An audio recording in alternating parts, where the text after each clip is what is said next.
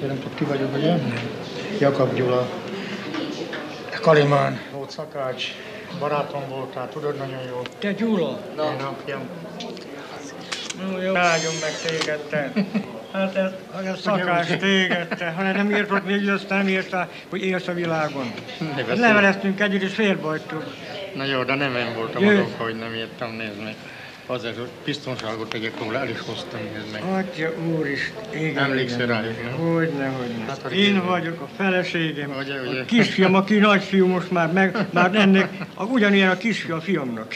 Mindez, ez a lányom. Kilenc évet én is lehúztam. Magát nem hozott a szíve oda, a mi volt. Nem, én egy kicsit közelebb voltam. Hát hallod, a szemedről rá is meg. Az arcon ásod csak akkor, de ott teljesen nem változtál meg az arconásba. Mikor hazamentetek, akkor én, én maradtam ott egyedül teljesen. Igen, igen, Teljesen igen. igen, maradtam magyar. Mert így a Kárpátai egy, egyedül voltam, több mint anyország, országiak volt, úgy mondtuk anyország voltak akkor. És akkor, mikor ők mentek, ők elmentek, úgy sírtam, mint az ápareső. Ott maradtam egyedül. Mondom, mit csinálok én mostan? Voltak velünk sokan. Lettek litvánok, eztek, arra jöttek, az nem, ne sírgéz, azt mi, mi itt leszünk, azt mondja, minden jó lesz. Melyik évben mentél haza? Én 50, hát 50, onnan tőled 54-ben jöttem. 54-ben? 55-ben jöttem haza. 54-ben évig jöttél, tartott, egy évig 45-ben, 45-ben, akkor 9 évig voltunk együtt. 9 évig együtt. Mi voltunk azok, az a két eh, tulajdonképpen hadifogó, aki eddigi találkozásnál még a legtávolabb volt a hazájától. Mert ez a 16 és fél ezer kilométer, ugye mi voltunk a legtávolabb részen az aranybányákból. Igen. Itt volt ez a nagyon nagy hideg is. Akkor még azon a részen nem is laktak emberek jóformán. Akkor kezdték feltani. Mikor Akkor- megérkeztünk, akkor érdekes, hogy éjjel nem volt sötétség. Olyan világosság volt, mint, mint nem hogy csak nap nem sütött. Hát a Berinszoros 70 kilométerre volt tőlünk csak. Úgyhogy világot láttunk. Egész nap abban esőben, viharban kim voltunk, de a 15 kenyér az 10 a kenyér, ugye hát ez nem több, két falat. Az alatt el kell aludni. Reggel meg megint menni újra dolgozni. Hát, ugye ez volt a... Azért biztos egy kicsit magának volt rövidebb, hogy hosszabb volt a keze. Mi mindig kövér volt, jó volt, milyen soványok volt. hát tudom Mikor szakát. aztán én már konyafőnök lettem, akkor már más volt annak a három-négy Akkor magyarnak, nekünk is ugye? jutott, igen. Akkor már más volt a helyzet, ugye, mert minden, még a katlan, mikor ki lett vakarva a feneke, még azt se adtam oda másnak, mint addig néztem, míg valami magyar nem jött közelembe, ugye, ott gyere gyorsan ne. Hát persze hát dugni, dugni Hányan kellett. lettünk ottan te? Körülbelül nem tudom, hányan. Ezer, ezer nem, nem, mi magyarok. A magyarok nem, 80, 60, Nyolcan, így van. többen nem voltunk se. És arra emlékszel, Gyula, hogy 40 fokos hidegbe kiálltunk melegedni a nap. Jó meleg van már, 40 fok csak. Még 50 fokban hidegen kellett dolgozni, 51 foknál aztán már nem, nem kellett dolgozni. Mondom, 40 fokosnál hidegnél kiálltunk melegedni, és melegedtünk, és mikor hazajöttünk, mikor jöttem hazafele, Szuszománba ültem repülőgépre, 58 fok hideg volt. És hazajöttem február 3-án, 58-ban február 3-án, itt 3 fok meleg volt, olvadt a nem, hójegyébe, majd megfagytam. Három fokos melegben majd megfagytam. Ott is az orvosok, senki nyáron haza nem merjen jönni, azok nem bírja a szervete az átalakulást. Sokan meghaltak azok közül, akik nyáron jöttek onnan haza. Arkagalán, ott meg sokan összejöttek a lesztek. És ezek elhatározták magukba, hogy ők kiírtják a betörőket. Lesz, ami lesz, de kiírtják. És ezt megbeszélték a vezetőséggel is. És mikor Arkagalán végeztek a, betörőkkel, hogy nagyon jó megverték őket és letörték a szarukat, akkor áthozták Kadakcsámba őket. Emlékszel erre az ügyre? És akkor Kadakcsámba éjszaka Ugye összeg volt rá, mert itt barakban a betörők feküdtek, éjszaka rájuk támadtak, és ott agyonra hordta verték őket. Agyon is verték -e? Nem, csak annyira, hogy kórházba kellett vinni őket, elszállítani onnan. És ekkor ezek leverték ezeket, ezek a latisok. De ilyen csak egyszer volt az egész 11 éven alattam, hogy ilyen bátorságra akadjak, vagy lássam mindezek. És volt olyan eset szemem láttára, hogy Arkagalán volt, ez bement a boltba, egy eh, két zsulik, már így hívjuk őket. Hogyan? Zsuli, zsulikoknak hívták őket. Hát, Hát ilyen így igen, a lágerben, a szemét népszínál. És egy le- lett asszony ment meglátogatni az urát, mert az asszonyok már akkor jöttek látogatókra. És oda megy a boltba, látta, hogy az egyik férfi az asszonynak a táskából kiveszi a pénztárcát. Az asszony is tudta, hogy kivette a pénztárcáját. És oda szaladt az asztal, azt mondja, kivette a pénztárcát a zsebéből, mutatja az, mi az. Nem vett az ki semmit, nem vett semmit, félt meg, meg, meg, meg mert akkor ki, mit, ugye, mit csinál vele a, az a zsulik, az a rabló, vagy minek mondjam, és akkor oda ment az alettasszony, azt kérdeztem, akkor láttam, hogy kivettem? Láttam. Ezt a két, fogta, két vért mind a készen is kinyomta az asszony, hogy ne lásson többet, azt mondja.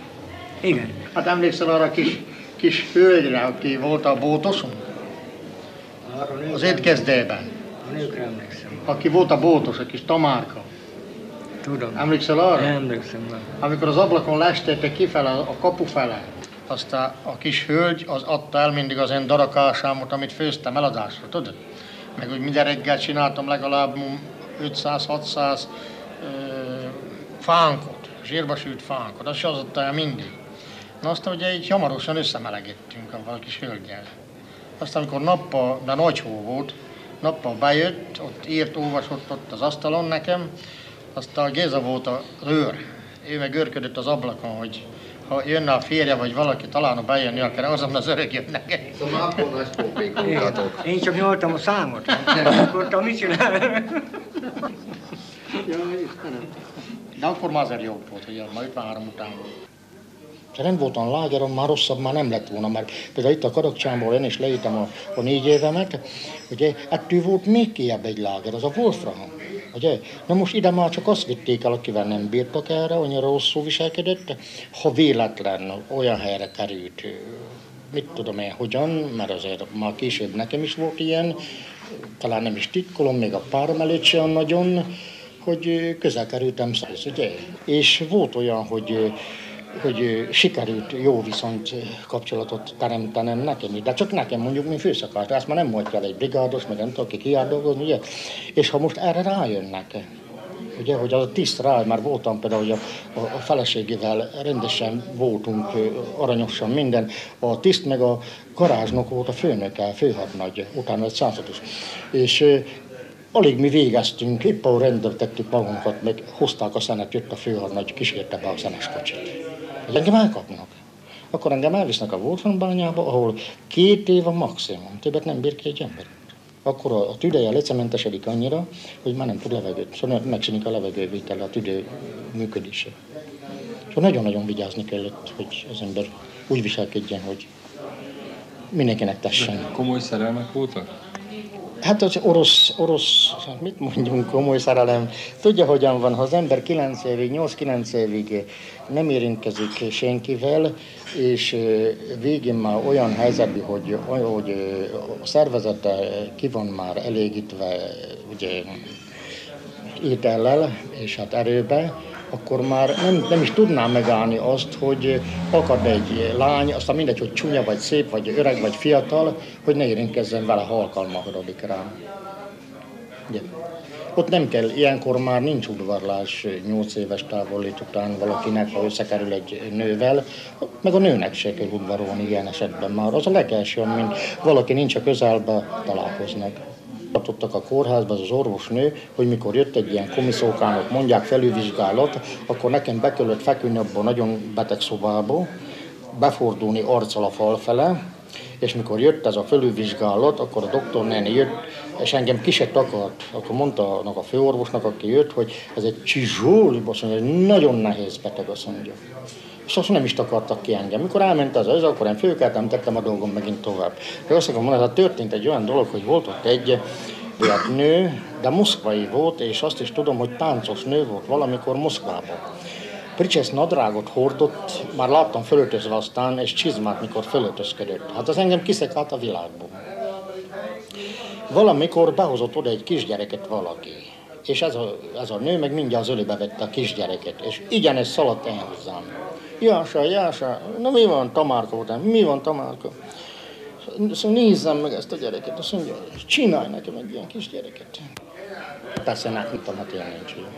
Szóval ennyire hiányzik volt a nőknek a férfi. Képes volt a világon mindenre, csak férfi kapni. És maguk nem voltak képesek ha- mindenre? Hát nem, mert én például én, én magam meg tudtam magam állni, mert ugye az volt, hogyha most terhes lesz, ugye, akkor nem tudom, meddig nem jár munkára, mint terhes. Utána, amikor megszül, megint nem tudom, meddig nem kell neki munkára menni, mert szül. utána, mire azt a gyereket elviszik tőle, akkor Stalin nevelés volt, ugye akkor a Stalin gyerekeket vitték el, ugye akkor volt a cél, minél több gyerek szülesen. Úgyhogy jó évet elhozott egy szüléssel, hogy nem köt kimenni neki 70 fokba dolgozni. Ezért nőnek meg nem mindegy ám, hogy a, kim van a 60-70 fokon, ugye, és 10 órát. Inkább szült volna minden évben csak nekünk kimenni. Ez volt az alapja annak, hogy, hogy azon voltak, hogy teherbe valaki állítsa őket teherbe. De voltunk olyan helyzetben is, amikor egybe beengedtek bennünket fürdőbe. De akkor mi is on, on, on gatyában voltunk ám, hogy akkor voltam 46 kiló. Rá sem tudtam nézni, az a szerencsétlen nő is úgy állt ott, mi a két karó lett volna alátűzve. Olyan kocka volt neki a lába köze, és hát is van sován volt, mint én. Nem kellett ám finom bántjuk egymást, nem áll. Meg is engedték akkor a közös fürdést. Látták, hogy itt úgy sincs semmi. Voltunk ilyen helyzetben sem. Viszont ha már az ember jobb kondiba volt, akkor meg nagyon utána, nagyon, főleg Stalin halál után, akkor aztán nagyon szigorú volt a nőkkel való. Egyáltalán nem találkozott az ember. Nem vittek olyan munkahelyre, ahol nő is dolgozott. Véletlenség. Ami azelőtt még esetleg elő is fordult, hogy a munkahelyen be tudtak menni, de aztán nem. Ott meg a, megfordult a kocka, akkor meg az volt, hogy ne legyen apa nélkül gyerek, ugye, akkor meg már az volt, mert már akkor ezek a Stalin gyerekek már minden, minden volt már akkor lágerben, mert, mert abból, abból egyből se lett jó hazafi, a Stalin nevelés egyből. Ugye mire benőtek abba a 17-18 éves korban, mind jöttek be a láger, mind kapták a 20-25 évüket. Már mind betörölött, meg bűnöző, meg minden. Minden hónapban volt ez az orvosi komisszió, tehát orvosi vizsgálat, ott nem az, hogy mi van a szíve, vagy a fül hallgatott, nem tette a fülére, hogy fája a szíve, vagy hogyan dobog a szíve, vagy a tüdeje, hanem az le, megnézte a sággapartját, ha még volt rajta valami, akkor az egyes, vagy kettes, vagy három, ha, ha fonnyot volt, vagy már csak csontbűr. csontbűr volt, akkor az hármas kategória volt. Az, na hát én hármas kategóriát kaptam, elvittek az építkezést. Mindig tudtunk egymásról, már azt akartam már előbb is mondani, hogy az minden hónapban fönnállt, és akkor akik a bányánál leromlottak, azokat hozták oda mi hozzánk az építkezéshez, akik mi nálunk pedig egy kicsit megjavultak, főszették magukat, azokat megvitték a bányába. És ezek között mindig voltak magyarok, és ugye a magyarok hát általában ismertük egymást, és hát így mindig tudtunk egymásról. Még azt is tudtam, mikor átörött neki az ujja, rásett a kő mézenkben, barakunkban volt egy plegyka rádió. Az mondta, ja, mondta Stalinnak a hogy létit. Amikor egyszer bemondta, hogy jobban van, akkor mind ment a helyre, aztán elkezdett buslakodni. De amikor bemondta, mi van, azt az örömet, ami ott volt, azt elmondani nem lehet. Egyetlen egy orosz térdát le, aki imott. Egy van. Egyetlen egy. Na most az előzményekre. Másnap egy, egy perc szünet volt, ugye, mikor Munka, munkaszünet, ugye, hogy Néma. Hát, mi hatan voltunk jelesek, a Vili Tösmárte, de Kukanka Vilit, a Nagy Lacit.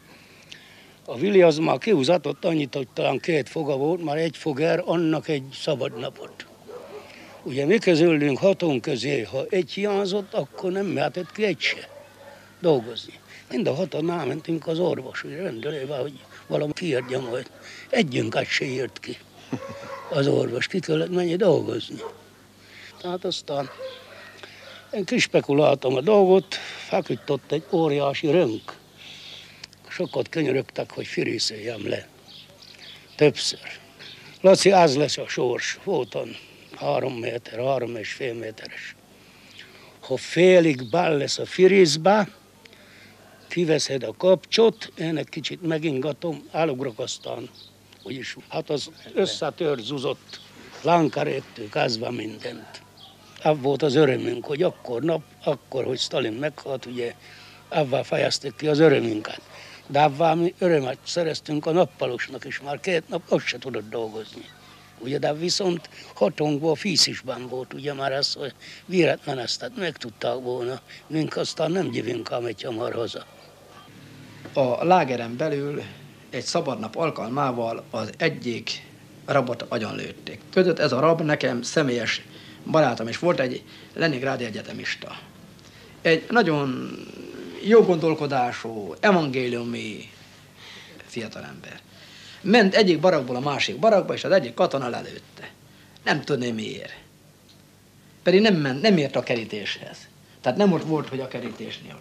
Igaz, úgy fényképezték le, hogy a drót belekerüljön. Na de ez már neki kellett csak ez a fénykép. De mi láttuk azt, hogy ő nem volt ott. Erre megtagadták másnap a kimenetelt. Nem mentünk ki három napig. Volt, aki kapott egy hónapot, volt, aki kapott két hónapot, volt, aki kapott három. Három volt a legsúlyosabb.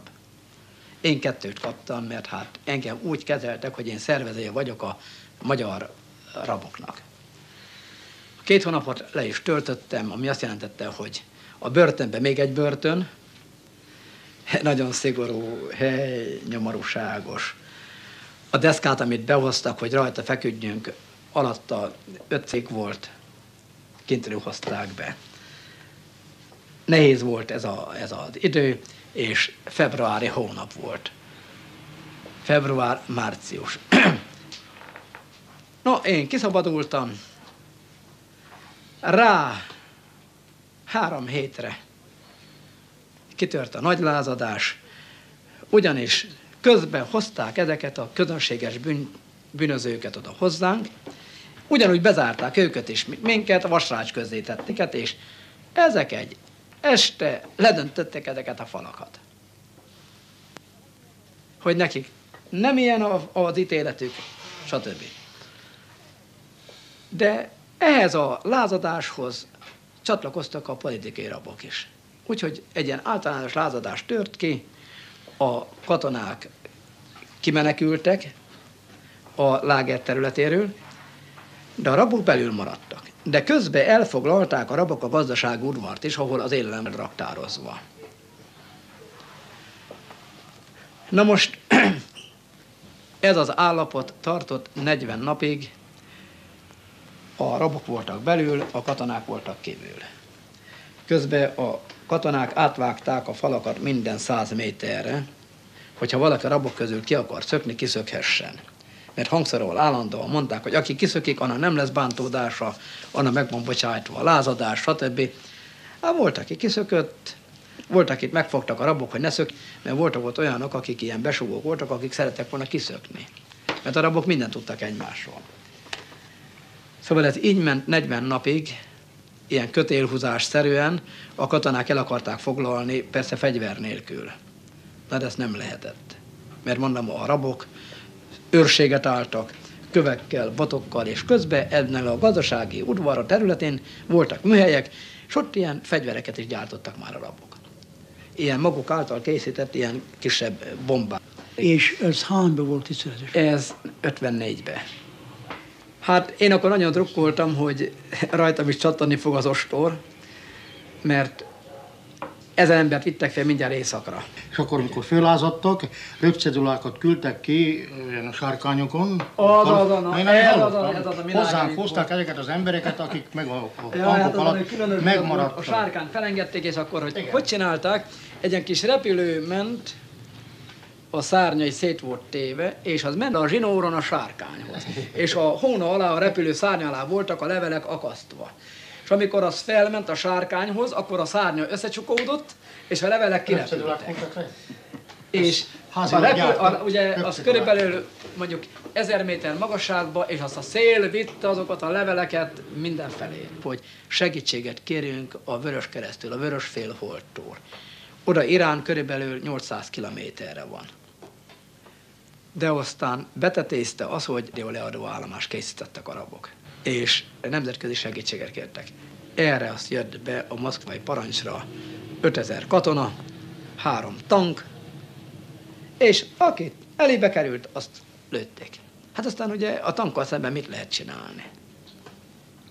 Semmit nem lehet csinálni. Aki tudott, elbújt. Az én brigádomból három halt meg akkor.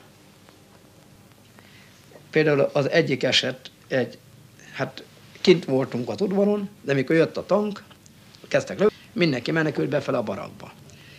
És egy lengyel fiú, együtt dolgoztunk, rohant befele eszeveszetten, mindenkit félrelökött, engem is, hogy ő akar beugrani, és mire az ajtóra lépett, akkor találta a golyó, ott halt meg. Ha történetre én lépek ott, akkor engem talál el. Jó. Na és aztán akkor alágert ezt a lázadást. Likvidálták, ugyanis új katonákat hoztak, úgy tudom, hogy Sverlasból hozták 5000 új katonát, a régieket lecserélték, és ezek így fegyverrel jöttek, utána ezer embert vittek büntetésre fel Vorkutára, éjszakra. Én nem kerültem be, pedig nagyon drukkoltam, hogy bekerülök a büntető századba. Akkor megúsztam, rá rövidesen nem sokára őrnékül lettem. Mert amit a rabok abteltek, azokat lassan minden pontját teljesítettek. Például mondjuk az egyik ilyen pont volt, amit a rabok követeltek, hogy addig nem megyünk dolgozni, amíg át nem nézik az ügyeinket, mert mi igazságtalanul vagyunk elítélve. Egy másik pont. Szüntessék le a családtagjaink deportálását és számizését. Engedjék vissza a szülőföldjére. Mondjuk egy olyan pont is volt benne, hogy engedjék meg addig is, ha lesz a család. Mondom, kétszer volt szabad írnom, illetve kapnom levelet, és nekem kétszer volt szabad írnom egy évbe. Hát például ez a regős doktor, akiről szólt, ez a fogorvos. Hát a feleségemen keresztül kapott az ötödik évre rá fényképet a családtól. Ugyanis megírtuk ide a címet, mert ide lehetett Kárpátaljára írni. Innen a feleségem írt Magyarországra, onnan jött a fénykép ide, innen küldte a fényképet oda, de persze hát nem lehetett nyílt. A mi levelezésünk úgy történt, hogy volt egy konzervdoboz, és annak a felekére rá volt téve, le volt téve a cédula, és akkor egy ugyanolyan lemez volt kivágva, és rátnyomva a kis cédulára, hogy amikor a katona mérte, hogy milyen a, mi van a konzervbe benne, hát nem tudta kiérzékelni azt a két-három millimétert, nem vette észre, hogy abban levél van. És egy alkalommal így jött meg a fénykép a családjáról, a negyedik gyerekről tudott, hogy megszületett, csak annyit tudott, hogy a feleség áldott állapotban volt, és kapott egy szép fényképet egy öt éves kislányról. Visszaemlékszem rá, hát az a meghatódottságot, azt nem lehet kimondani, hogy öt év után láthatja feleségét, gyermekeit, és azt a gyermekét, akiről jófene nem tudott semmit. Úgyhogy Kárpátalja akkor tulajdonképpen olyan összekötő volt, mert többel volt így levelezés. Szlovákiába, Magyarországra, és jött a levél, és aztán továbbították. Mert ez ilyen szigorított láger volt, úgynevezett kátorzsná. De én minden héten írtam. Ott voltak ilyen eh, szabadok, akik dolgoztak ott velünk, rabokkal, és azok elvitték a postára. Úgyhogy én minden héten írtam haza a levelet, hát ebből egy része meg is maradt, most megtaláltam, itt vannak sorban. Van több, itt van 1953 év Lajos levelei. Ez a... Szabad kérdezni, hány évet tetszett elítélve lenni? Hogy? Hány évre volt elítélve Tiszes úr? Tízre. Tíz évet tetszett. És miért volt elítélve engem az is Én, mint református segédlelkész voltam itt munkácson, és a vád ellenem az volt, hogy fiatalokkal való foglalkozás, szovjetellenes propaganda. Ugyanis itt nem szabad a fiatalokkal foglalkozni, és aki fiatalokkal foglalkozik, az szovjetellenes tevékenységet folytat.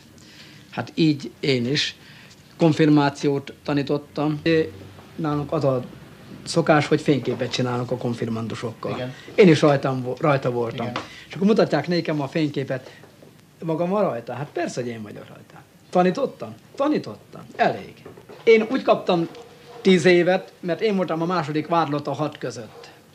De azt mondta a főügyész, Andráskó volt a főügyész, egy tanító, és azt mondta, hogy ez az ember érdemli meg legjobban a 25 esztendőt, de mivel fiatal, ezért adjunk neki, én hiszem, hogy tíz év alatt mi átneveljük, hogy ő belőle egy szocialista ember lesz.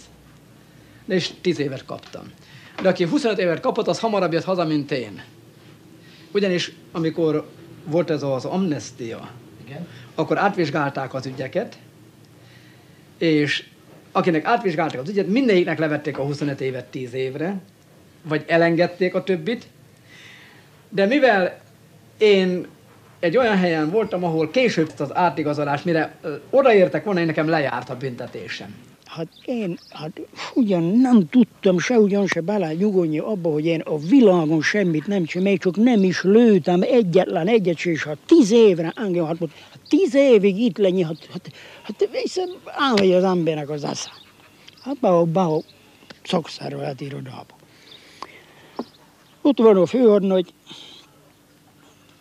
elkezdek színyi kézzel, lábbal, mondom néki, hogy Hát én 17 éves vagyok, aztán hát azt se tudom, mi a politika, hát én mint politikai bűnös el vagyok ítéve 10 évre. Azt mondja, milyen paragrafusorod vagy elítéve? Mondom neki, 58, de már nem is engedett többet mondani. A 8, 9, 11-et már nem is engedte mondani, mondom, 58. Uzsák vágyit, aztán ide nyújt meg a pisztolyához. Na, de ti be pavesít, azt mondja, te fasiszta. Mondom ide, aztán érdemes volt begyűjni, panaszkodni. Hát jó van, másra nincs, elkeseredve kimentem, menek be a másik irodába, ott is egy főhadnagy van, mondom neki, hogy a mi a helyzet. Azt mondja, kakoj ti náci?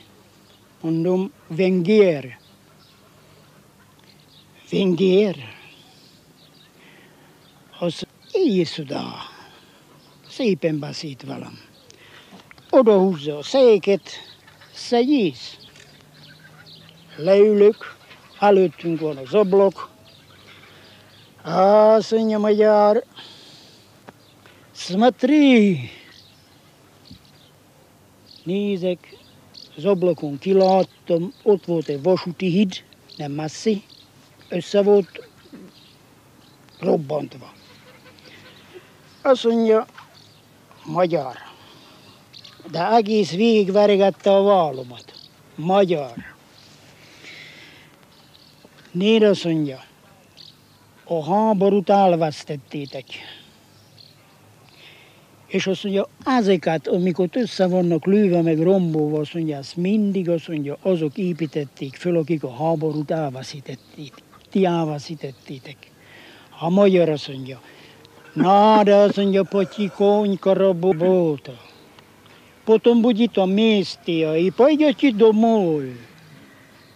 Tehát annyit jelent, azt mondja, hogy a magyar azt mondja, ne jáss kétségbe, azt mondja, ha elvesztettétek a háborút, itt lesztek, azt mondja, egy kicsit azt mondja, dolgozgattok, azt mondja, majd aztán közben azt mondja, lesz amnestia, aztán hát elmehettek haza. Szóval a kettő között érti, hogy mi a különbség. Kárpátaljáról hány magyart vittek el lágerekbe? A háború után 18-50 évig mindenkit elvittek, férfiakat, magyarokat és németeket. Például, ha 300 ember elment, abból legalább 80 oda maradt. Valójában több halt meg a háború után, mint a háború alatt. Ugye, hogy a református lapjában most a legutolsóban éppen Forgompár püspök beszél is róla a rádió közvetített éppen vasárnap reggel. Na most ez volt az egyik, ez volt a nagy kiszállítás, rengeteg embert elhurcoltak. Utána pedig aztán a gazdagobbakat, mint kulákok. Elvitték a bírókat, a jegyzőket, a tanítóknak egy részét, a papoknak egy részét. Na, ezek már per útján kerültek oda, és per útján kapták meg a, a, ítéletet. Ezek a többiek, akiket először vittek el, azok pedig volt, aki két évig volt ott, volt, aki három évig volt oda. Aki aztán hazajött. Sajnos Kárpán nincs olyan család, hogy valaki ne hiányozzon. Például itt is az apósom oda maradt. Két sógorom oda maradt. És ez így van szinte mindenkinél. Na most ez, ez azért ez egy borzalmas állapot, és rettenetes tudat ezt hordozni.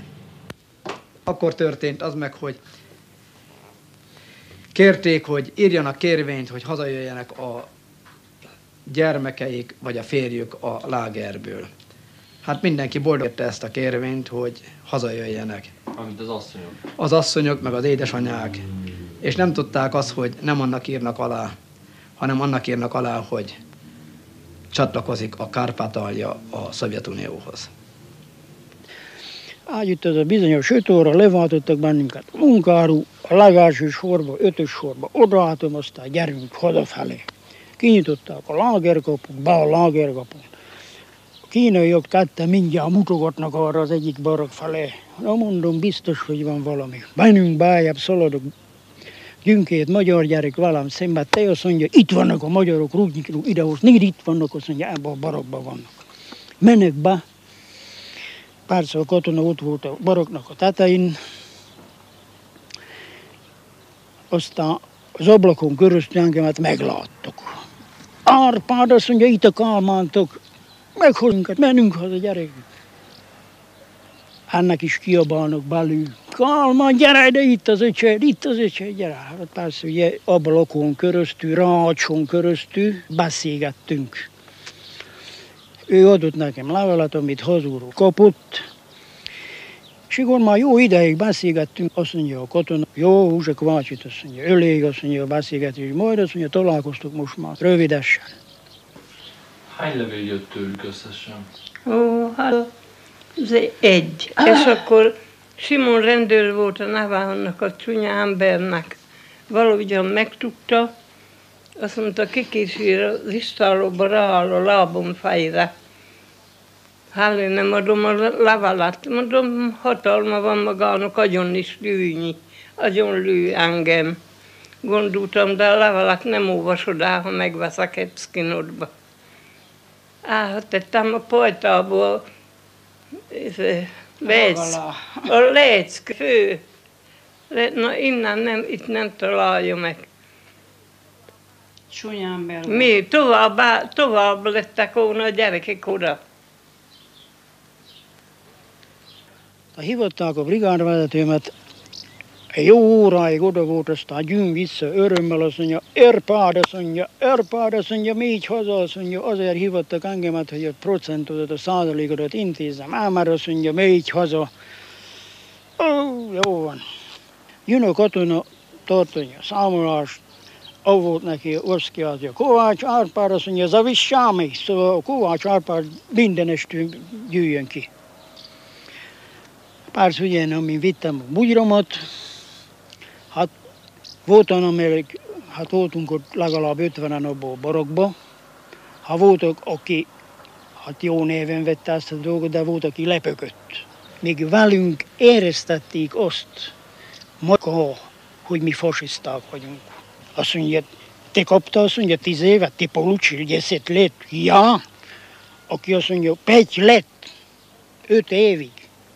Harcoltam, a hazámot védtem, akkor leresztette a nadrágját. Nézd meg, azt mondja, smatri! Elkezdett kiabálni. Össze volt neki égve a láboszára, ötször sebesültem, azt mondja. Élet-halál között voltam, a hazámot védtem. Te, valacs! Hát így szoktak csinálni az oroszok, két ujját elővette, azt akkor ki az embernek a szemének, hogy kinyomja. összeszedtek bennünket, ezeket hozták oda mi hozzánk, és ott mi nálunk, abban a lágerben azt mondták, hogy 72 órán belül hát elszállítanak bennünket haza, és még hónapokig ott voltunk abban a lágerben.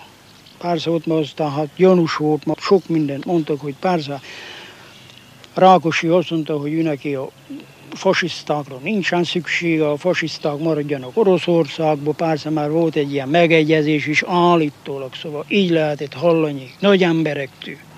Már ott nem ilyen kicsi proli emberek voltak, mint én, hanem ott voltak vezérkari emberek is, akik megtudták azt, hogy Rákosi kijárt, és Stalinnal együtt azt mondta, vagy Stalinnak azt mondta, mi hadisarcot nem füzetünk, itt van annyi ezer ember, amennyi ideig nektek kell, annyi ideig dolgoztassátok, míg a hadisarc le nem megy, de mink hadisarcot nem fizetünk. Tehát el voltunk adva.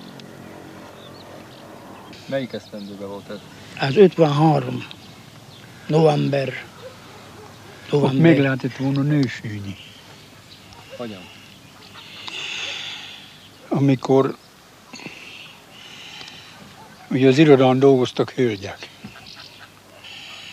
És azt mondták, hogy aki akar, akinek az élete otthon olyan, hogy fél hazamenni, annak nem muszáj hazamenni. Az ott maradhat kint. Miniszteri rendelet volt. Volt, aki megnősült? Ó, Hát volt, de hát úgy, úgy, úgy nősült meg, hogy összeállt. Letellett az ide 8 évet kapott, összeállt a Maruszával. Aztán ugye, mikor hát Gyűnyi került haza, Marusza ott maradt, még eljött haza. De miért nem jött el akkor a felesége? Már nem engedték. nem engedték. Na, aztán a csaphoz értünk a határhoz, ott bejárt velünk az orosz szerelvény, amivel mi voltunk, vagonokba hoztak bennünket, és mellőnk, meg át a magyar szerelvény, ha bár ezek már nem vagonok voltak, ezek személykocsik voltak, és ezekből kiszálltak a magyarok, akik minket átvettek, szegények, ennek mind éje, ez egy sem árt a mi szemünkben nézni. Persze, hát gondolhatják, oda mi értünk, az olyan embereket küldték, akik hát, hát kommunista emberek voltak. És ugye, hát úgy is kezdtek el velünk beszélni, hogy hát fasiszták voltak, majd mink elintézünk bennünket, meg stb. stb. Kézen fognak ott egy gyereket, hogy tehát már fiatal volt a gyerek, miért volt tehát, hát miért volt tehát elítéve, miért volt tehát a Szovjetunióban. Miért voltam? Miért? Azért már Levante voltam. Ne beszélj! Hát ilyenért nem vittek el senkit, ilyenért nem vittek el Oroszországból senkit, hol Levante volt. De igen, azt mondja, én Levante voltam, én nem csináltam semmit, engemet azért vittek el. Persze ugye a beszélgetés közben megállt a másik magyar, megállt a harmadik magyar, meg a negyedik, meg a tizedik, meg a huszadik, aztán már lettek ott ötvenen, meg ezek is, ugye, ezek a kommunisták is, azt akkor előgyüttek ám. Azt mondja, nem úgy van ám, azt mondja, ami maguk gondolják. Hát ugye mi voltam? Azt mondja, én vasutas voltam. És azt mondja, azt a szerelvényt, azt mondja, ellenőriztem, amiben ezek az emberek be voltak csukva. A kalapácsoltam a, a kerekeket. És azt mondja, megfogtak az oroszok, aztán bevágtak a vagomba. Hát azt mondja, én engem még, át se ítétek, azt mondja, azt se tudtam, hány évet kaptam, meg azért voltam kint. De a másik meg azt mondja, hát én meg azt mondja, mentem kaszálni. Na, hajtottak azt mondja, egy csomó foglyot. Az egyik orosz azt mondja, oda hozzám, elveszi a kaszát tőlem, eldobja, azt mondja, aztán bele oda dobott a többi közé. Hajtottak a többivel a láger, lágerba. Hát hiába azt mondja, magyaráztam kézzel lábból, azt mondja, semmit nem csináltok. Elítétek, aztán kivittek. Na hát azt ott kaptak ezek a kommunisták olyan dolgokat, hogy aztán hát kénytelenek voltak elhallgatni, ugye, mert hát látták azt, hogy itt hát igazságot beszélnek.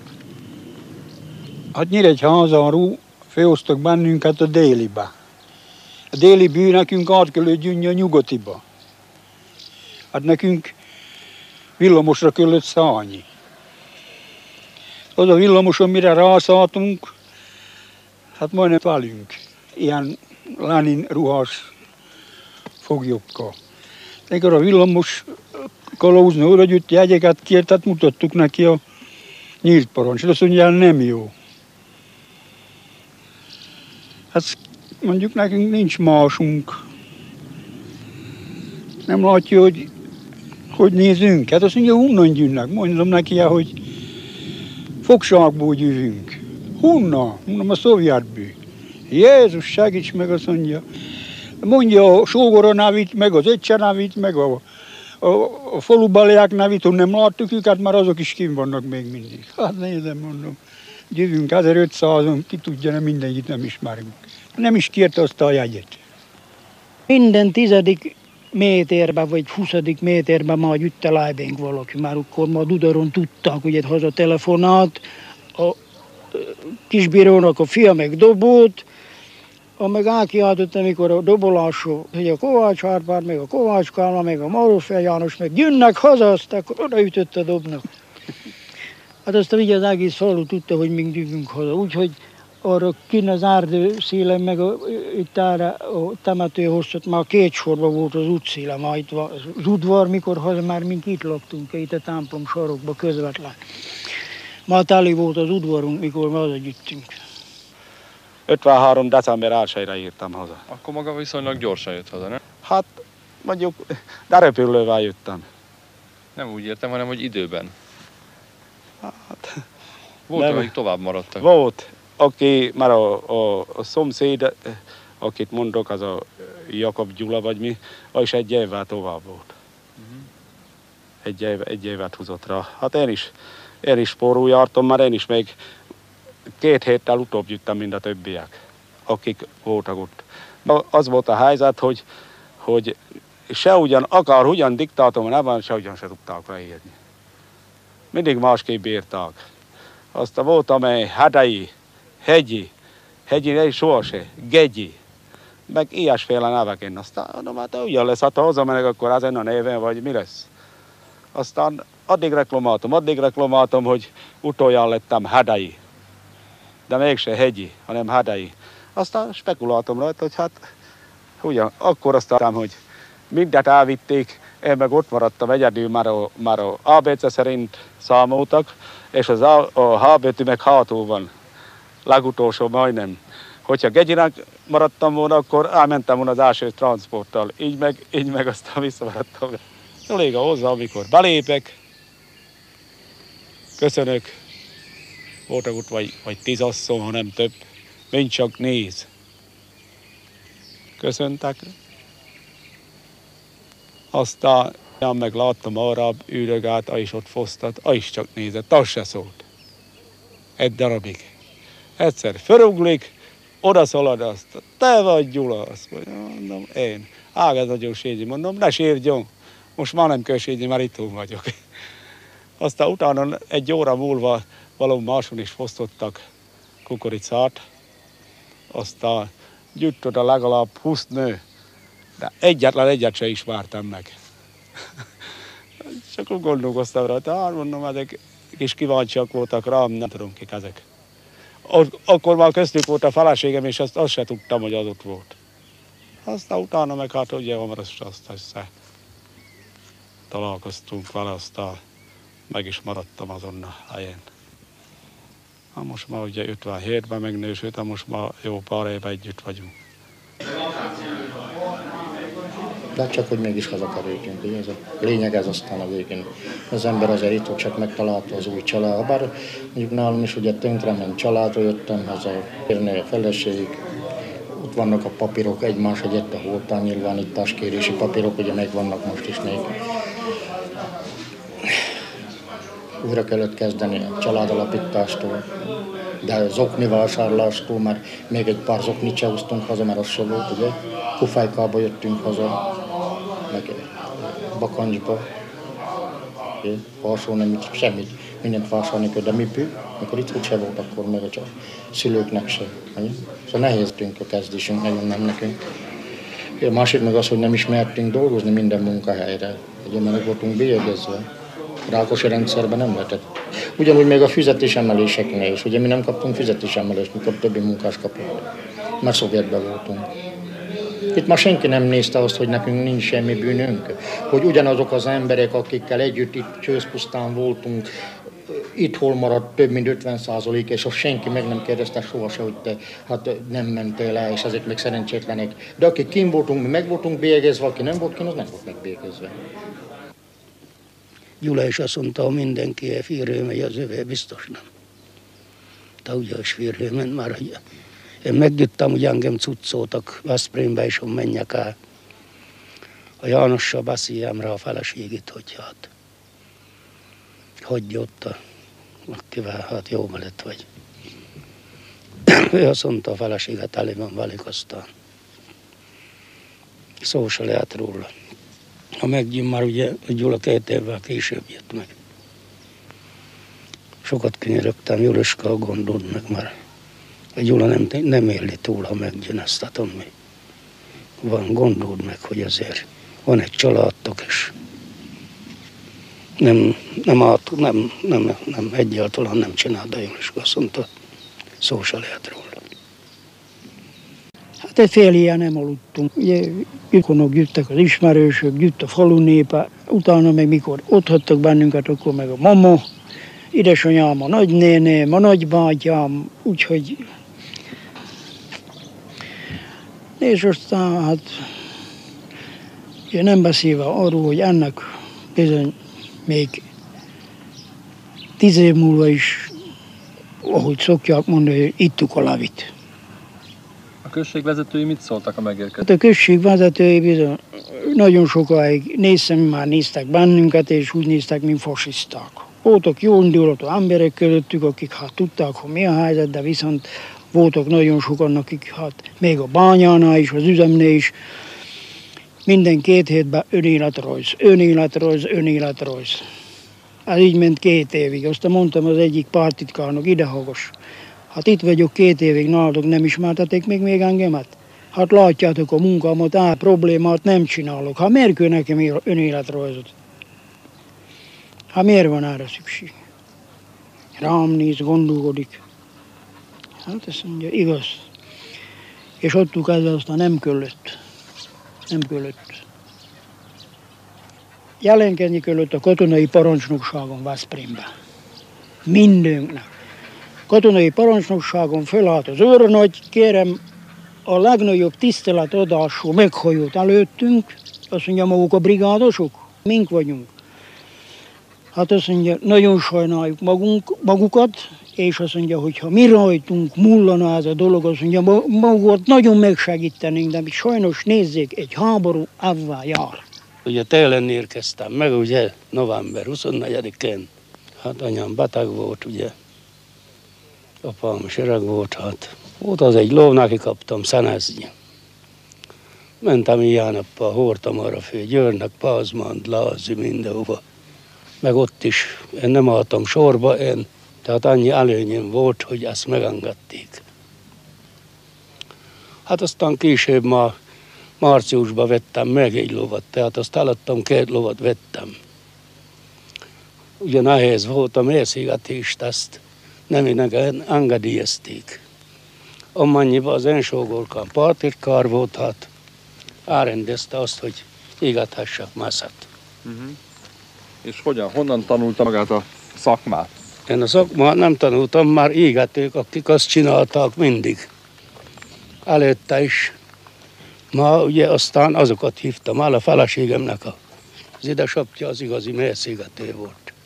Hát egy pár évig csináltam, ugye azt a TS alakult, az elvette, aztán a TS csináltam. De mit mondtak, miért vették el?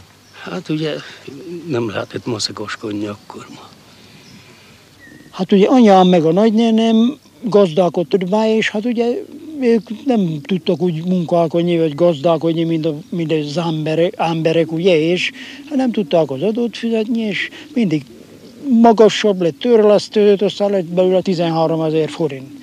Na most azt gondoltuk, hogy ha ámünk üzemhő dolgozni, akkor mit ülünk, levonják ezt a bizonyos adóösszeget. Amikor az állhárút, ez a bizonyos 13 ezer forint, akkor megépültem, megnősültem, akkor eljöttem ide dolgozni. Lekerültem három szakba a bányába, és utána innen a meddű hányórú elment egy ember nyugdíjba, és ide tettek engemet egy másik lakatos mellé. És mennyi lett aztán így a nyugdíja? Hát elég kevés nyugdíjam volt nékem, mikor hát nyugdíjba mentem, már a rokkontosítású vagyok, le, le lettem rokkantva, és valami 3800 forintom volt, mikor nyugdíjba mentem. Veszprémbe, ugyan mentem végig ott, amin be volt kerítve a Veszprémi állomás, Ballagok ott látom nagyon két ilyen jó magas rangú, nem is figyeltem a rangot, a rangot akkor, azt tudom, hogy ez már majdnem mind őrnagy volt, ha jól emlékszek rá. Azt azt mondja, egyiknek, egyik a másiknak azt mondja, te, hiszed, hogy én azt ismerem, hogy eurószóval, te, meg akkor kerültem haza. Azt ugye persze, hogy megértettem, amit mondott. Aztán nem jobban mondom, az is, tehát ez az Iván. Mondom, hát te vagy az. Azt mondja, én. Így kerültünk azt össze. Hát ott, ott volt nekünk annyi nézőnk, már meg a nyakamba ugrott, azt annyira csókoltam, annyira bírt. Már mondom, avval együtt, négy évig együtt voltam. Együtt kosztoltunk, pénzünk együtt volt, meg hogyha én valamit tudtam venni, vagy valami, azt addig meg nem kezdtem, még nem jött. Ezt együtt tettük. Ez annyira jók voltunk egymáshoz. És mikor hazagyüttünk, azok a velünk egyidős gyerekek a házat építettek, sőt volt, akinek ma kocsija volt, mi nekünk meg nem volt mit kezdeni. Már az a ruhánk volt, amit adtak a rokonyok, amiben fölöltöztettek bennünket. Az nagyon nehéz volt átviszállni ezt a dolgot, mert már akkor érezte az ember az, hogy hát igazság, a legnagyobb igazságtalanságot csináltak velünk. Voltak ennél a Gál alázadésnél, voltak innen tőlünk. Alázadés azt mondta, ha maguk azt mondja, nem annyian volnának, ha maguk 20 volnának, vagy maguk 50 volnának, akkor minden további nélkül magukat a magyar állam rehabilitálna, és jóva arást adna maguknak, tehát kiegészítést, ki, bérkiegészítést adna maguknak. Na nézze, ezt még nem csinálhatjuk meg, már ha maguknak 20 adunk, akkor mit csinál a többi száz, meg a többi ezer? Ez volt a felelet. Te alapja van, de jogász nincs, aki a kezébe vegye, tehát aki a Szovjetunióval szembe bíráskodjon. Hát, hogy a jövő mit hoz, ezt nem tudjuk. Elég szomorú dolog, amikor az ember azt látja, hogy Németország az a nyomorúságos Németország, akit azt lehet mondani, hogy a porig bombáztok, és kérem máma előbbre áll, mint Amerika. Azt lehet mondani, hogy az egész Európa oda megy kölcsönpénzt kérni, és akkor a zsidókat megsegítette, fájdalomdíjat adott nekik, és kérem a Szovjetunió, aki meg háborút nyárt, kérem még ott csinál, hogy ezeket a nyomorult embereket hát legalább valahogy megsegítsük, hogy hát ne gyalázzanak bennünket. Hanem mondják azt, hogy hát, hát igen, hát mégis azért becsületes emberek Szóval Álmában nem tértek vissza ezek a lágerképek? Avval lettem lerokkontosítva. Idegileg. Mikor? Ezelőtt három évvel. Éjjel olyan rosszul lettem, hogy meg akartam fulladni, meg futni akartam. Mondom a feleségemnek reggel, nagy pintek reggelre lett az. Nagy pintek reggelre. Azonnal adja nekem ruhát, öltözök, és mennek az orvoshoz. Kimentem a bányához, üzemorvoshoz, mondom neki, legyen szíves nekem, doktornő, adjon beutalót az ideggyógyászatra, már elfutok. Azt mondja, hát ilyen ne csináljam, de mondom, elfutok, egész ilyen futni akartam. Adott beutalót, én mentem -e. Látva volt a szám, már majdnem megfulladtam. Közvetlen báhin a főorvosasszony, ideggyógyász, ami menek be az ajtón, ott ül, ül velem szembe az ajtóval szembe. Na, azt mondja, Kovács, mondja el, azt mondja, miért volt leülve, mit csinált, azt mondja, kit várt meg, kit gyilkolt meg.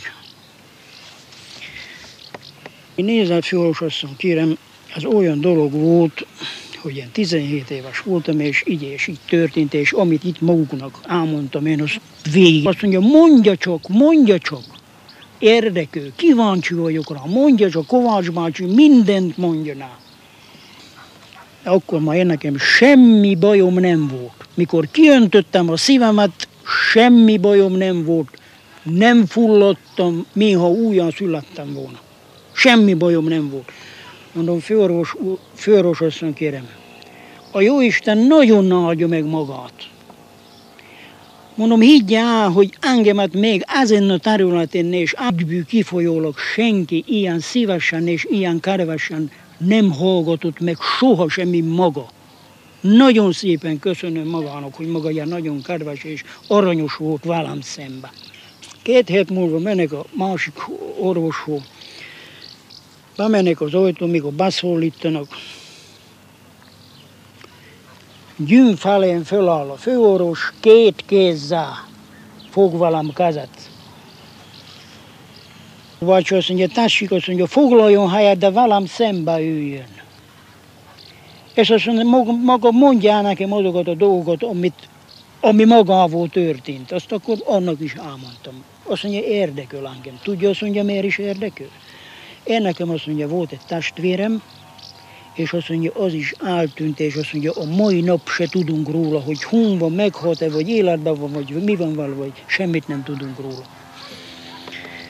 És még megduplázta a dolgokat, még olyan dolgokat is kérdezett, hogy hát, hát szóval sok mindent kérdezett, és hát azt mondja, elhiszem magának, azt mondja, én mindent elhiszek, és azt, azt is elhiszem, hogy maga egy nagyon beteg ember.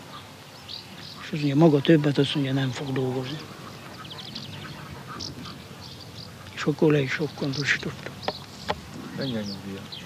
Hát nincs 5000 forint. 4000 4400 valamennyi forint. Hány évig volt a bányában? 27 évig, meg még rászámították a 9 évet. 53 éves koromban született meg a kislányom, aki most iskolába jár. Most gimnazista, másodikos kislányom. Tehát ez mind arra rovásra megy vissza, hogy mi a, a, a szép időnket lágerba töltöttük. Mire már öregettünk, jöttünk haza, akkor szétbomlott családról, újra kellett kezdeni a házas életet, akkor még közben ilyen is jött nekem is, mint amit elmondtam. Szóval nem irigységre méltó ezek a sorsok, akinek ilyen jövünk.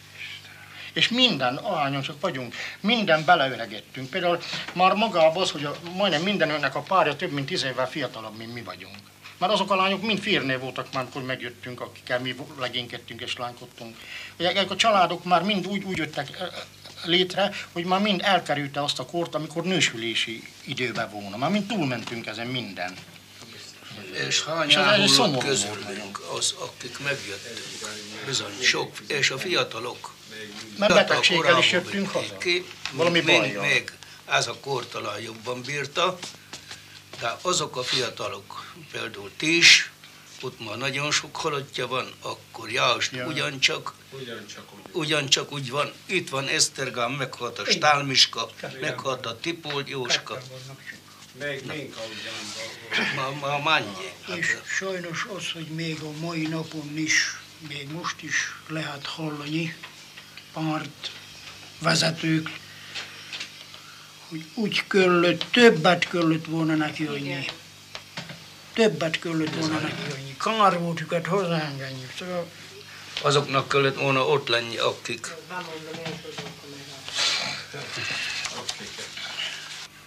Ezt le tudja fordítani esetleg? Le, le. Azt tudom. Csak nagyon rosszul látott.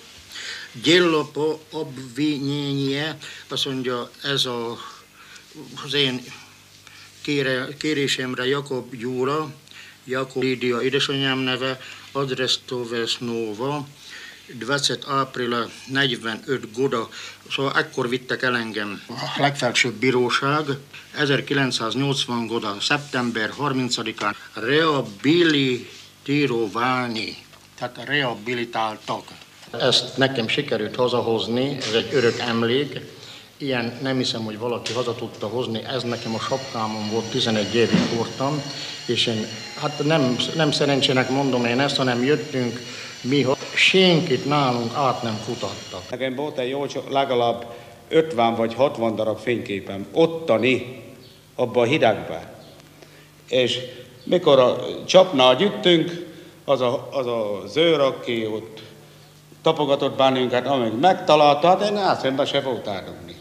Megtalálta, az összeset mind összetépte. Vannak itt, amik ott kinn, ami képet tudtam szerezni, persze nagyon kevés van. Ez például hol készült? Ez Magadáni lágerba, de nem Magadánból, Magadántól északra fönt. Hát hogy hány kilométer, azt nem tudjuk, mert ott még az utak mellett sincsenek ugye kilométerkövek se. Ott utolsó két évben én főszakács lettem, és ott én rólam csináltak fényképeket, és kitették a falra. Ez ilyen képújságnak mondták azt, hogy ez a képújság. Nekem akkor ezt a, abból a fali újságból a kérésemre kivágták. Ott dolgozott egy zsidó bácsi, és azt mondta nekem, te Gyula, azt mondja, én adok neked egy igazolást, hogy te itt dolgoztál, nem kell az neked majd valamikor? Hát mondtam neki, dehogy nem mondom, ha ad, én szívesen elfogadom. Hát ezt én hazahoztam, nem tudom elolvasni, oroszul van írva, de nagyon szép írása van ennek a zsidó bácsinak. Rajta a pecsét, és ebbe azt írja, hogy én milyen tisztességesen és odaadóan, lelkén ismeretesen láttam el az olyan rám bizott konyhát és a rám bizott dolgokat. Nekem jött haza három levelem, na itt van például Például ez a levél, ezt én magam nem tudom most már elolvasni. Ez még, ez még akkor íródott, amikor nekem az élet, a, a párom még én nem tud, hát még velem is volt tulajdonképpen, nem voltunk elválva, és ő is még apáéknál élt, ugye nem is volt elvállásról még szó se. És én akkor úgy tudtam, hogy van egy, egy kisfiam, ugye, és van egy, egy mondjuk kedves feleségem, és én őnekik írtam ezt a levét nagy nehezen, aztán tessék, hogy néz ez ki?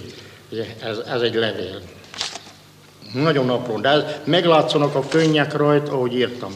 A könnyem állandóan folyt, pedig hát már akkor nem voltam gyerek, ez már voltam akkor 32 éves. Ezen még úgy írom, hogy kedves feleségem, édes kisfiam, hogyan neveljétek, mire törekedjetek, hogy abból ember legyen, hogy az majd megállja a helyet a társadalomba bármikor, és, és olvasásról, hogyan tanítsátok, hogyan kell tanítani, olvasni a gyereket, hogy az megszokja a könyvet. Ez ebben minden ilyesmiről van csak szó. Mert hát én, én az életemet csak a, a családnak szántam mindig, és a gyereknek. Volt egy orosz azt mondja nekem, magyar, ne menjél, azt mondja, te sehova, se dívót. Ne menjél sehova, se azt mondja, gyere ide, azt mondja, én mellém, azt mondja, most te veled én akarok beszélni. Jó van, beszélj. Mondd meg azt mondja nekem, hogy hova valós vagy. Mondom néki, hogy én Fehérvár mellé, mondtam, hogy Fehérvár, mert a Fehérvárt azt a azt lehet mondani, hogy a 90 százalékig mindenki tudta, hogy Fehérvár hon van. Fehérvár mellé mondom, Veszprém, aztán meg Veszprém, mondom, 35 kilométerre lakok, mondom, Dudor községbe. Összecsapják egy Dudor községbe. Oh. Azt mondja, Dudaron, azt mondja, én voltam, azt mondja, Dudaron. Mondom, ne beszéljél, hát, hát gondolhatják ott valahol 8000 kilométerre, hát azt mondják, hogy Dudar község létezik a világon. Hát akkora dobbant a szíveme. Dudar község, azt mondja. Hát azt mondja, magyar. Tudod, azt mondja, én sofőr voltam. Az oroszok azt mondja, beállítottak, azt mondja, brigádot ide abba a nagy erdőbe. Azt mondja, azt a legvastagabb fenyőfákot kivogdolták, da volt itt egy gotter, azon megfirészőtik, azt mondja, deszkán oszninak. Azt mondja, én azt mondja, azt a fosznit, meg azt a deszkát minden nap, azt mondja, vittem várpalotára. Na jó van, mondom, azt most már megértem, hogy Dudor községet tudod, hogy létezik a világon, de azt mond meg nekem, hogy miért vagy te itt? Miért vagy te 25 évre állítéve? Jó, magyarul. Azt én is szeretném tudni. Ez olyan dolog, ami, hát én nem akarom megmondani, de megmondta, hogy miért vannak állítéve 25 évre. És ez egy aljas dolog volt, ez egy szörnyű aljas dolog volt. A németek ott voltak, kérem, Moszkva alatt, ugye, fétek a Stalinék, összehívott marsalgyait kérem, mit csináljunk. Akkor Vorosilov azt mondta, kérem azt mondja, ezek az emberek azt mondja, nem akarnak harcolni. Hát de miért nem akarnak harcolni? Hát azért nem akarnak harcolni, mert azt mondja, ezek az emberek azt akarják, hogy őnekik olyan helyzetük legyen, mint ami Ukrajnában van, amit a németek teremtettek. Már a németek azt csinálták, mikor bementek, azt elfoglalták a községet, akkor összehívták a falu elők elő embereit, és azt mondták, kő 10 hótfőd, kő 20 hótfőd, földbe akarsz dolgozni. Itt van, dolgozzá. Na, hát azt mondja, ez széjjel ment a katonaság között, és ezért nem akarnak harcolni, mert ezt akarják. Nem akarnak kolhozt, hanem ezt akarják. Szabad emberek akarnak lenni. Hát akkor azt mondja Stalin, tik nem tudtak ígérni. Előálltak ezek a marsolok, és megmondták azt, hogy kérem, mi tudjuk azt, hogy ilyen és ilyen helyzet van, hát mi, mink se akarunk tovább kolhozokat, hanem mink is hát szabad világot akarunk teremteni, és Hát ha megjárjuk a háborút, akkor mindenki kap 10 hót földet, és mindenki a maga gazdája lesz. Aztán még akkor ára fő annyira rafináltak voltak, hogy még akkor mindenkinek megtöltötték a kulacsot vodkával.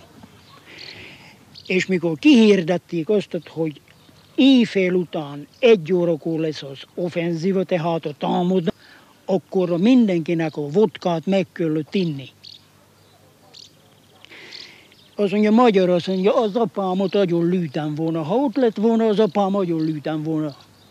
És ilyenek voltunk. Így indultunk meg, azt mondja, így indultunk neki, azt mondja, a németeknek. És azt mondja, kimozdítottuk őket. Ki bizony azt mondja, kimozdítottuk őket, és nem is tudtak azt mondja megállni. Hát persze, még, hát ugye tovább mentünk, ugye. Elértünk azt mondja, a háborúnak a végére, persze azt mondja, mindenki nagyon örült, aki hát életben maradt, és azt mondja, az orosz katonák elővették a harmóniumot, aztán hát húzták, nótáztak, örültek, gyerekek, azt mondja, menünk haza most már, nem olyan Oroszországban menünk, mint amilyen volt, hanem saját gazdánk leszünk, stb. stb.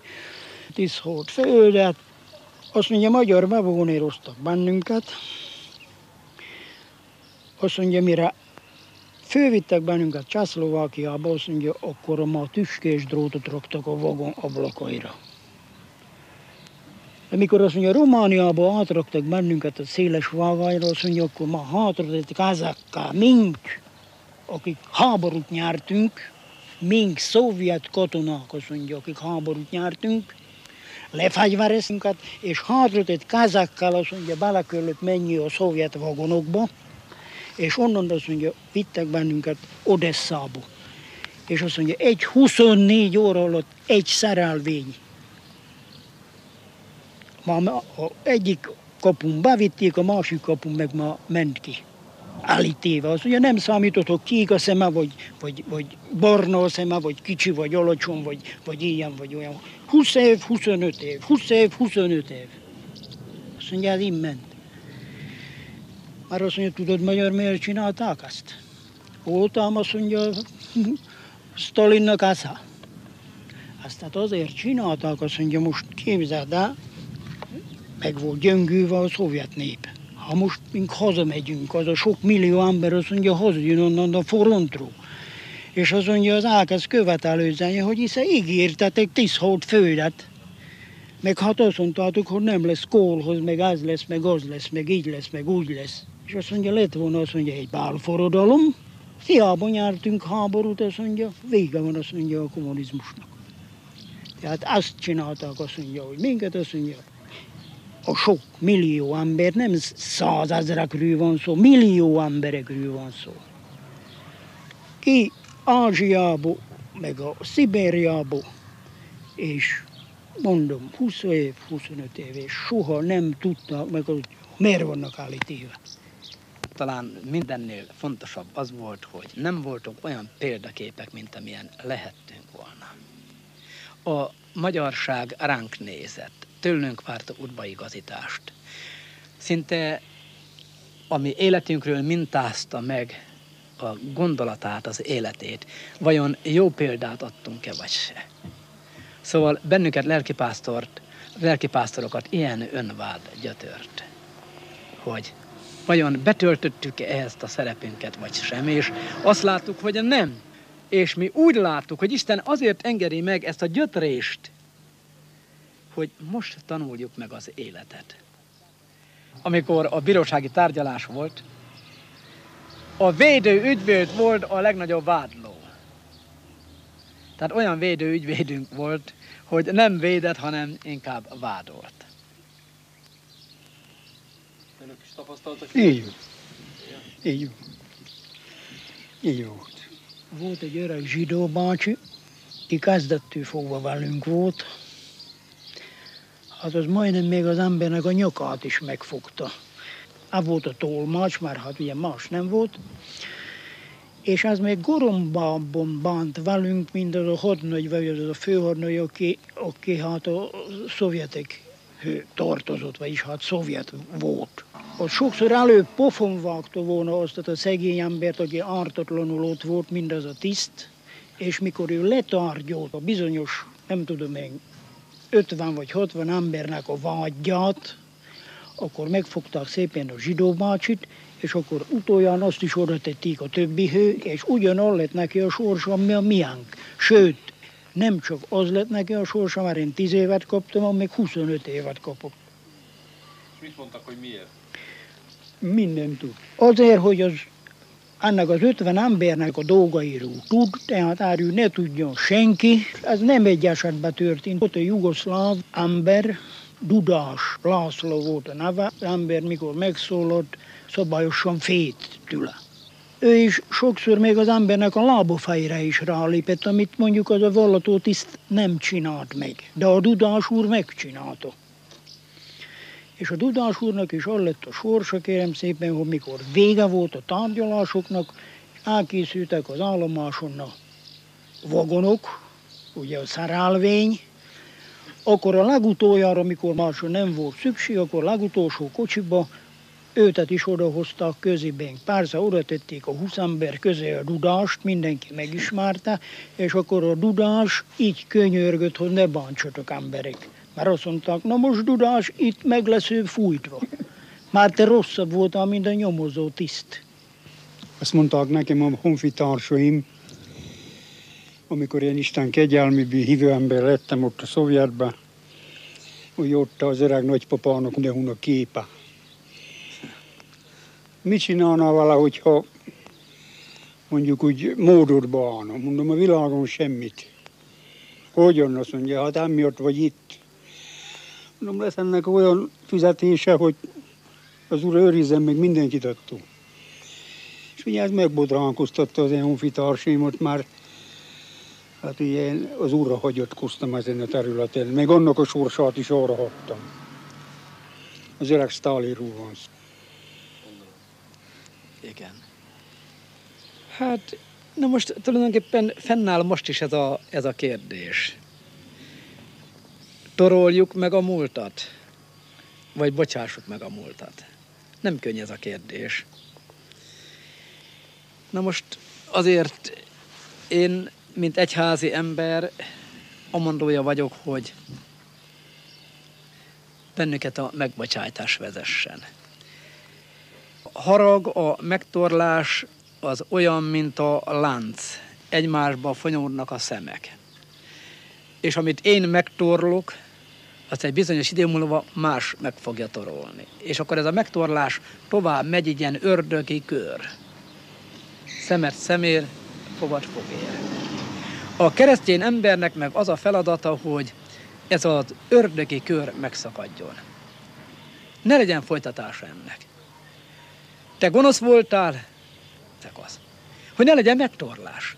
Ne legyen jogcím majd egy következő generációnak megint megtorolni a sérelmeket. Az ítéletet nyugodt szívvel rámerem bízni az Istenre. Én hiszek ebben az isteni ítéletben, és hiszek ebben az isteni számonkérésben. Na most természetesen én nem várom azt, hogy mondjuk egy vizsgáló bíró is ugyanígy vélekedjen. Az a vizsgáló bíró legyen a törvény szerint, a becsületesség szerint, a jog szerint ember.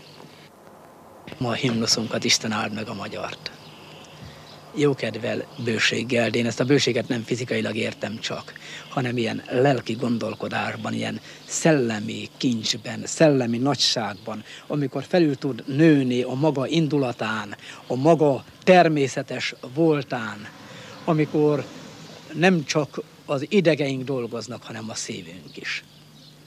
Ez lenne a jövőnk, ez lenne a megtartatásunk. És Magyarországnak Európában szívnek kell lenni. Egy példának kell lenni, egy, hogy mondjam, egy mintaképnek kell lenni. Most itt van a lehetőség. Soha a történelemben az ezer év alatt nem volt olyan nagy lehetősége Magyarországnak felül emelkedni és megmaradni, mint most. De csak egyféleképpen. Hogyha az emberséget, a becsületet, a józanságot, a tisztességet, a jó fogja képviselni.